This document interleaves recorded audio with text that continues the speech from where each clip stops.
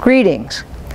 I'm Dr. Judy Palfrey, the President of the American Academy of Pediatrics. We are so happy to be co-sponsors of this wonderful event. I bring you the good wishes from the 60,000 members of the American Academy of Pediatrics.